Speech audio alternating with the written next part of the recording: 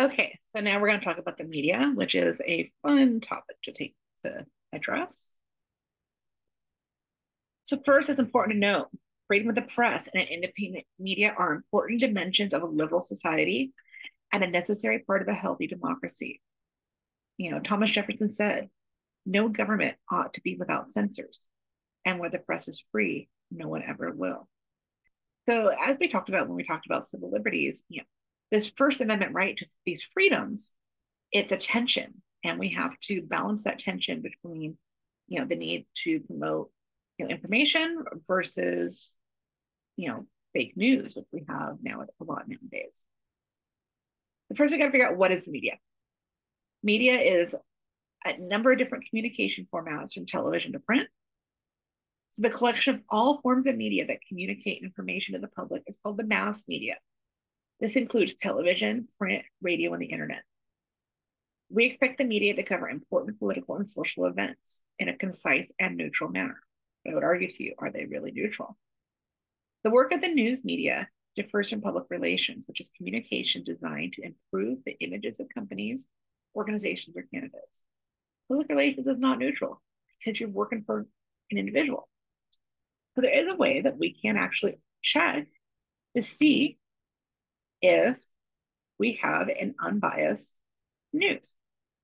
I'm going to do a resume. Sorry, let's do a new share.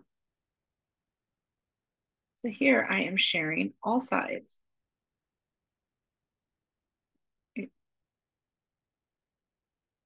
Yes, we're sharing AllSides. All sides of the website where I can look at you know, the economy. You can pick any kind of issue. And it's kind of like it's called an aggregator. So what it does is it ranks different articles about these issues as being from the center, the left, or the right. So you can see, you know, the Epoch Times is a, is a you know, is a moderately right-leaning article.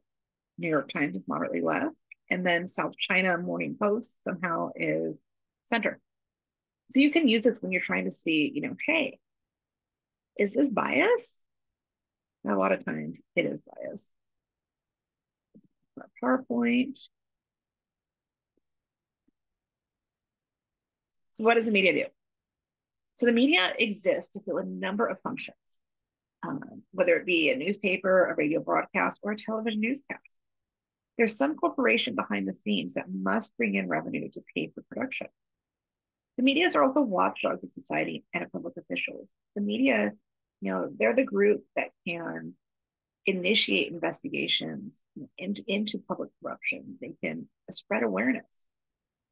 Sometimes the media is called the fourth estate, with the branch of the government being the first three estates, because the media helps maintain democracy and keeps the government accountable for its actions. It's all like me, who studies public administration and government accountability. You know, yes, the media, it has its purposes.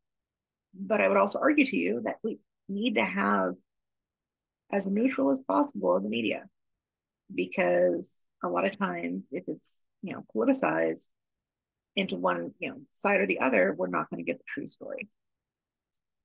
People were asked where do you get your news?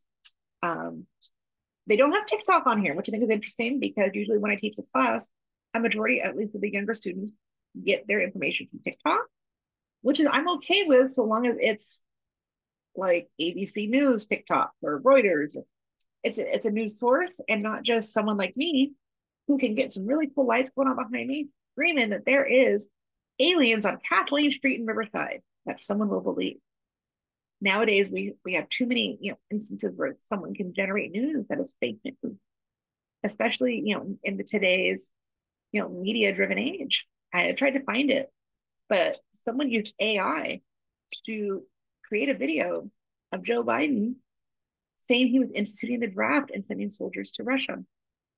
It was AI. Think about the panic. If you just saw that on TikTok, I would hope you would check it. You know, right? Let's be educated, but it happens. So the media also engages in what's called agenda setting because it's choosing what to put on the news. So, you know, what deserves the attention of the public? There's so many different things.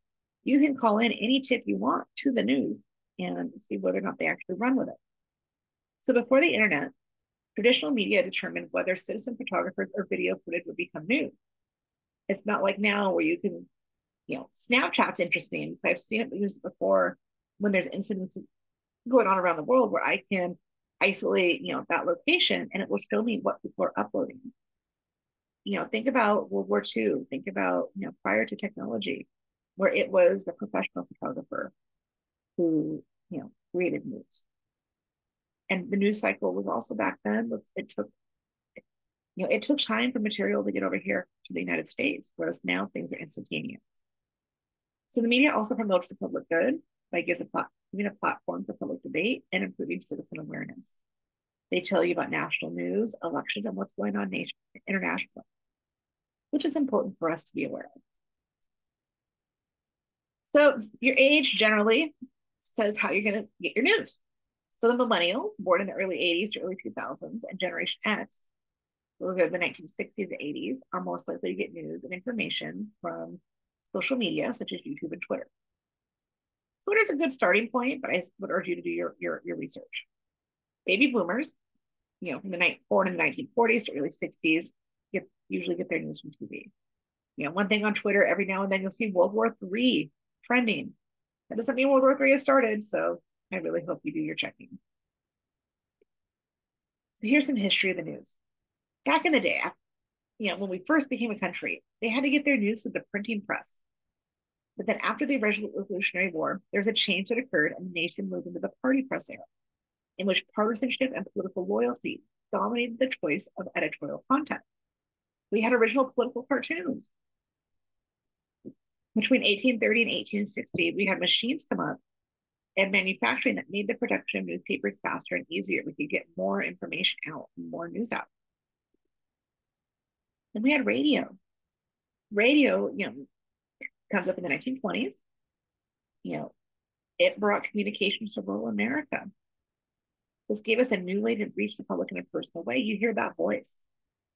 World War II changed the radio news forever. There was a need and desire for frequent updates about the war, and this made newspapers with the once a day printing too slow. Know, people wanted to know what was happening, they wanted to know immediately.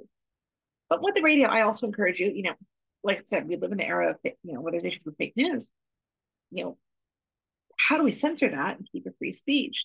Think of the idea of War of the Worlds, that radio play that Orson Welles, where some people it caused mass panic because they thought he was actually broadcasting news when it was fiction. So there's interesting things to consider when evaluating news.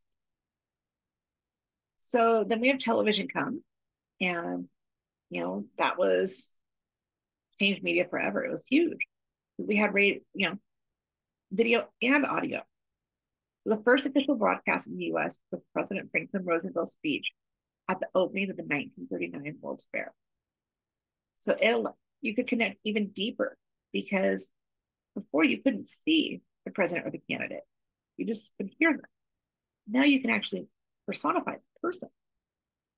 So the president often uses television to reach citizens and gain support for policies and to inspire and comfort the populace during emergencies.